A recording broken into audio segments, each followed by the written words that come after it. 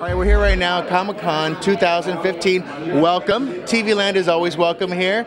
So uh, let's tar- uh, let's start with teachers. Um, when you guys heard about the uh, the idea of this, did you first think about maybe a friend that might be a teacher? You're like, yeah, I'm gonna emulate that person a little bit. Well, yeah, I definitely thought of a friend, and that friend was my friend Caitlin Barlow, who is actually a Chicago public school teacher. So when you when you think about the daily life of a teacher, did, did you always find the humor, or was it more of like finding the humor after the fact? Oh gosh, I mean a little of both. I, I mean teaching is such a hard job. It's so stressful that you have to have a sense of humor about things. Otherwise, you would just cry um, because it's so stressful. But um, yeah, definitely after the fact too. There's things now looking back at my first year teaching that I did that I laugh thinking about. Like, oh, what was I thinking? You know.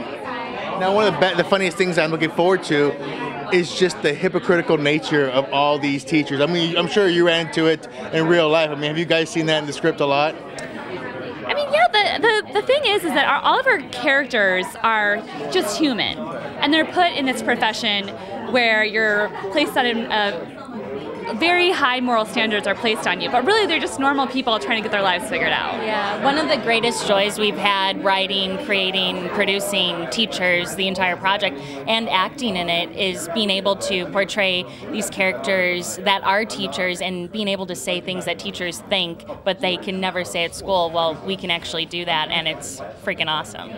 Would you want your children taken care of by these teachers? I guess is the question. No.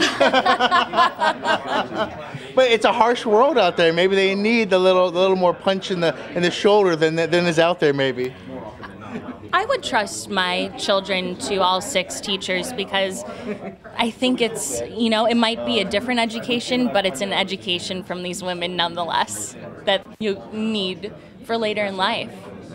Well, ladies, we look forward to seeing the show. Uh, working at January 2016, correct? That's correct. So we look forward to this, and of course, TV Land has some more great stuff for us. So enjoy Comic Con. Thank you so Thanks much. very Pleasure. Thank you. Thank you.